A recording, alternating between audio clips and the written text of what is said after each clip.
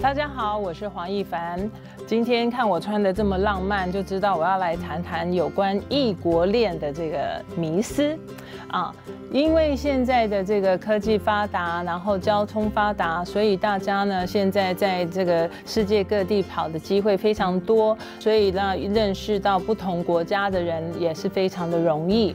那有时候呢一不小心就蹦出了恋曲，甚至呢有些时候呢因为这个呃电影啊、电视啊一些故事啊，让我们感觉非常美好，所以呢会觉得说好像谈一个异国恋情呢超级的浪漫，超。级的美好，那当然啦，在在在谈下去的之前呢，呃，我们要先谈一谈他这个异国恋，它它的有什么不同啊？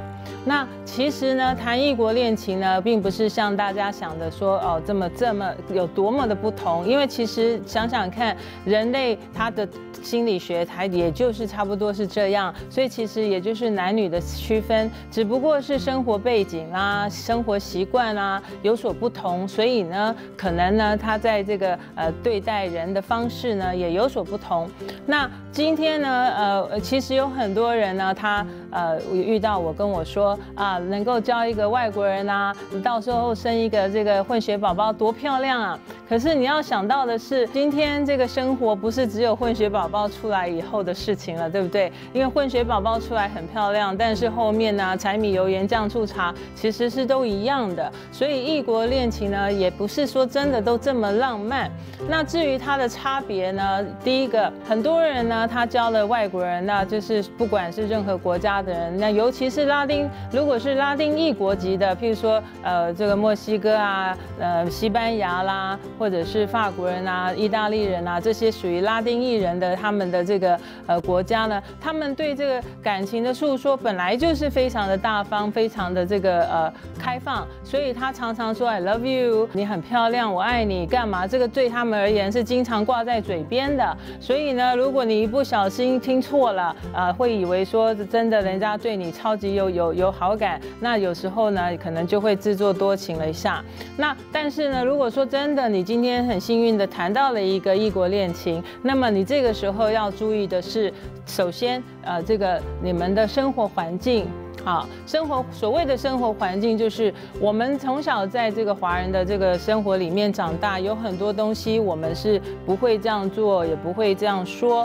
但是呢，在外国人呢，他们是要直话直说。那我们通常华人呢，因为要要讲礼貌，所以有些事情我们会比较拐弯抹角。有的时候呢，我们甚至还会说，哎，不好意思，怕担怕怕影响到别人的感受，所以我们反而就自这边自己这个别扭别扭的。可是其实。在国外呢，他们的教导方式呢是要你直话直讲，有事就讲，有事就做。他们反正就希望你能够就是这样子，所以变成了一个保守，一个开化，然后在沟通上呢就一定有问题了。那另外呢，在语言上是最最最最容易出现问题的。怎么说？今天呢，除非你在这里成长，你在这里出生，你学的是完全的标准的英文，或者是当地你不管你交到哪一个国家的这个人，如果你。是出生在那里，学的就是在那里，那么你的沟通上或许就会好一点。但是如果你是在亚洲成长，然后你认识了其他国家的这个人，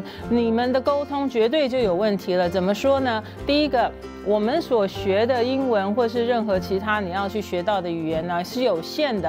譬如说，你也知道我们的中文呢，在讲起来呢，一个字可以衍生出很多的意义。相同的，在别的语言也有这样子的一些问题。那但是呢，我们中文的表达方式有时候是非常直接，说你吃饭了没啊？我们有时候并不会把请、谢谢、对不起完全的加入在在这个我们的句型里面。可是因为我们在跟人家讲话的时候，我们的音调，我们的语气，一听就知道是个很礼貌的方式。譬如说，我们去餐厅，我们可能跟这个服务生讲说：“请给我一些纸巾好吗？”我们的中文的讲法是这样。那但是呢，在这个英文的讲法，可能你就必须要注意一下你的这个音调啦，你的那个呃讲法。所以呢，在谈异国恋的时候啊，语言呐，还有他的生活习惯呢，一直都是在谈异国恋情的时候呢，最最大的这个症结点，反而造成很多人呢，呃，最后呢。不欢而散，可是就是因为他们不理解他们的语言习惯以及他们的生活习惯。